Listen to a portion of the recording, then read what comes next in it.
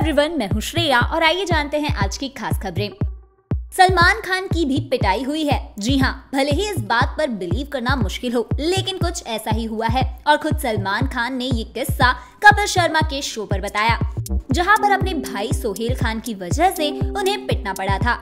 सोहेल खान ने बताया कि बैंड स्टैंड पर कुछ लोग उनका नाम लेकर गाली दे रहे थे। ऐसे में जब सोहेल खान ने उनसे पंगा लिया तो ग्रुप में लोगों ने उनकी पिटाई कर दी।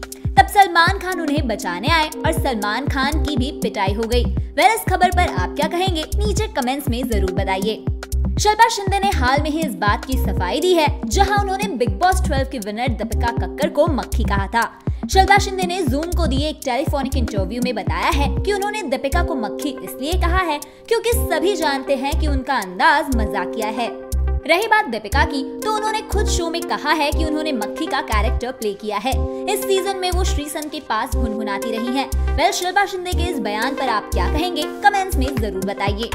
बिग बॉस 12 के विजेता का ऐलान होने से ठीक पहले मेकर से एक ऐसी गलती हो गई है, जो शायद आपको शॉक कर देगी। जी हाँ अब अगर आप सोच रहे हैं कि कहीं बिग बॉस के विनर को बनाने में कोई गलती तो नहीं हुई है ना तो बता दे ऐसा कुछ नहीं है। दरअसल सलमान खान ने दीपक, श्रीसंत और दीपिका को पैसे लेकर शो छोड़ने का ऑफ़र दिया था।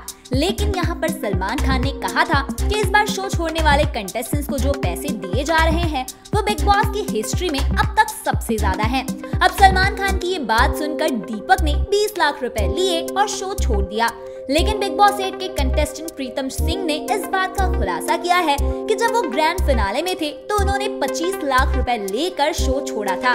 ऐसे में ये बात सही नहीं है कि दीपक को बिग बॉस की हिस्ट्री में सबसे ज़्यादा पैसे मिले हैं। ये रिश्ता क्या कहलाता है खतरों के खिलाड़ी और बिग बॉस 11 के बाद हिना खान कसौटी में कोमोनिका के कैरेक्टर में नज़र आई हैं। लेकिन सिर्फ़ यही नहीं, बल्कि जल्दी हिना खान एक नए किरदार में नज़र आने वाली हैं। हिना खान बॉलीवुड फ़िल्म लाइंस के बाद अब एक और शॉर्ट फ़िल्म में नज़र आने वाली है इस शॉर्ट फ़िल्म में हिना खान फुद्दू के मेकर्स के साथ काम करने जा रही हैं। इसके साथ इस फ़िल्म में विवान भथेना एक्टिंग करते हुए नज़र आएँगे। इस फ़िल्म की शूटिंग आज से शुरू हो जाएगी। लेकिन अब अगर आप सोच रहे हैं कि कहीं हिना खान कसौटी छोड़ तो नहीं रही तो बता दे ऐसा कुछ नहीं हो रहा। हिना खान की ये शॉर्ट फ़िल्म सिर्फ़ दो दिनों की है तो परेशान मत होइए, हिना खान कहीं नहीं जा रही। क्या आप हिना खान को नए अंदाज में देखने के लिए एक्साइटेड हैं? नीचे कमेंट्स में बताना मत भूलिए। रियलिटी शो बिग बॉस 12 का ग्रैंड फिनाले खत्म हो गया है। दीपिका कक्कर इस शो की विनर बन गई हैं। शो में उनकी और श्रीसन की खूब बनी थी। दोनों घर में भाई बहन के रिश्ते के साथ रहे।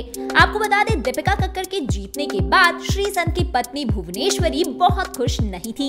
लेकिन हाल में दीपिका कक्कर और श्रीसन के साथ दोनों परिवार एक साथ नज़र आए। श्रीसंत ने अपने सोशल मीडिया पर ये फ़ोटो शेयर किया है। क्या आप दीपिका और श्रीसंत को दोबारा एक साथ देखना चाहते हैं? कमेंट्स के ज़रिए हमें ज़रूर बताइए। तो ये थी आज की खास खबरें। अगर आपको ये वीडियो अच्छा लगा है तो इसे लाइक कीजिए, इस पर कमेंट कीजिए और ऐसी अपडेट्स के लिए सब्सक्राइब करना मत भूलिए, हिंदी रश।